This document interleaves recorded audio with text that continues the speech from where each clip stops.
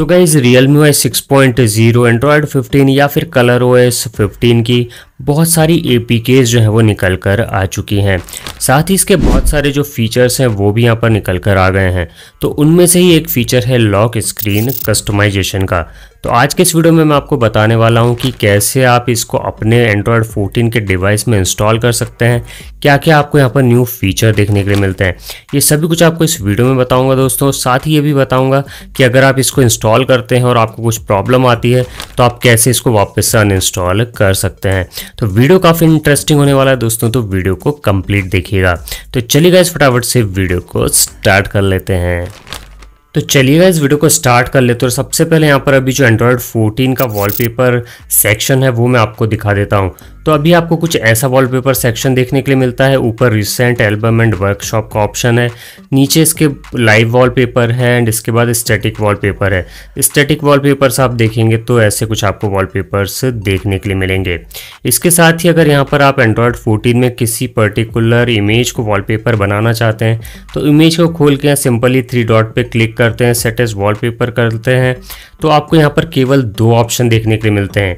एक यहाँ पर आपको ऑप्शन देखने के लिए मिलेगा जूम का एंड सेकंड यहाँ पर आपको स्क्रॉलिंग जो है वो ऑन या फिर ऑफ़ करने का ऑप्शन मिलेगा। तो ये केवल दो ऑप्शन आपको यहाँ पर देखने के लिए मिलते हैं। अब बात करें दोस्तों एंड्रॉयड 15 के वॉलपेपर एपीके की तो वो मैं आपको यहाँ पर दिखा देता हूँ। तो कुछ इस तरीके से आपको यहाँ पर वॉलपेपर ऐप जो है वो देखने के लिए मिलता है। इसका एपीके ऐप इसको सिंपली यहाँ पर इंस्टॉल करना है। तो इंस्टॉल करने के लिए इस पर क्लिक करेंगे। यहाँ पर आपको अपडेट का ऑप्शन देखने के लिए मिलेगा, क्योंकि यहाँ पर पहले से जो वॉलपेपर है वो इसमें इंस्टॉल होता है। तो यहाँ पर सिंपली इसको अपडेट कर लीजिए। अब ये ए पी के कहाँ से मिलेगी? क्या इसका पासवर्ड होगा? ये सब मैं आपको आगे वीडियो में बताता हूँ। तो गाइज़ यहाँ पर मैंने इसको अपडेट कर लिया है।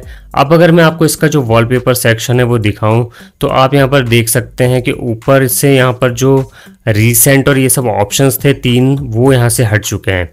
सिंपली अब यहाँ पर आपको लाइव वॉलपेपर और स्टेटिक वॉलपेपर का ऑप्शन देखने के लिए मिलता है। वॉलपेपर आपको यहाँ पर चेंजेस देखने के लिए अभी नहीं मिल रहे हैं।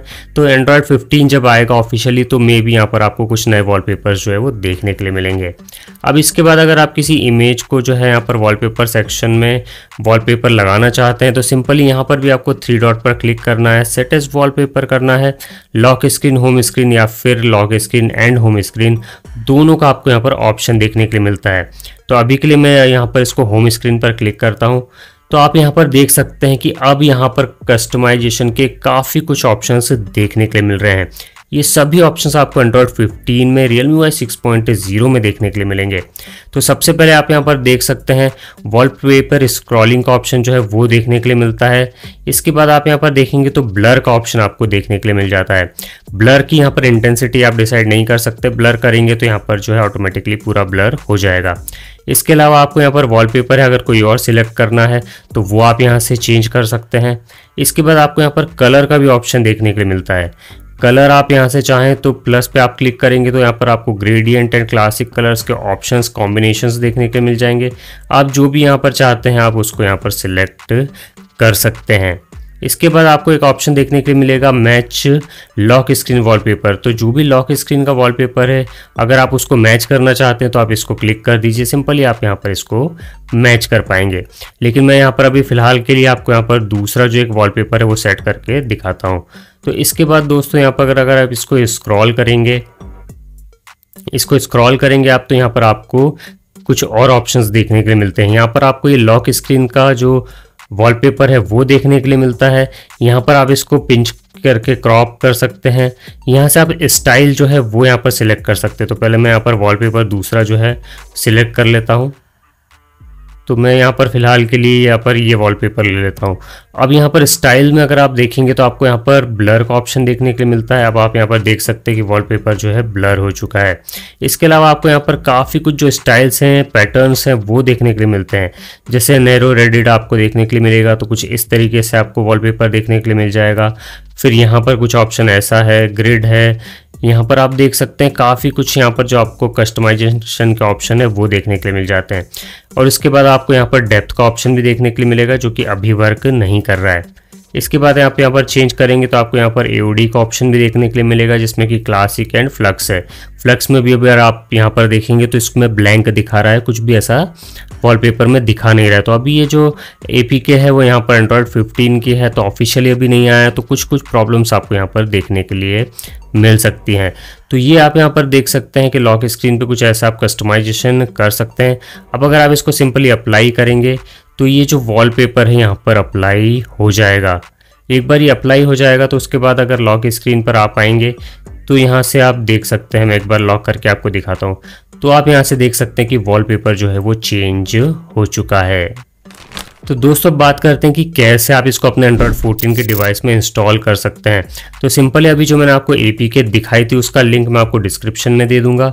आप यहाँ से डाउनलोड कर देंगे और उसका जिप फ़ाइल में दूँगा तो आपको उसको पासवर्ड से ओपन करना पड़ेगा। उसका पासवर्ड मैं आपको दे देता हूँ यहाँ पर फोर थ्री टू वन ये यहाँ पर पासवर्ड है, इसको डालिए एक्सट्रैक्ट कीजिए और यहाँ पर इंस्टॉल आप अपने डिवाइस में कर सकते हैं।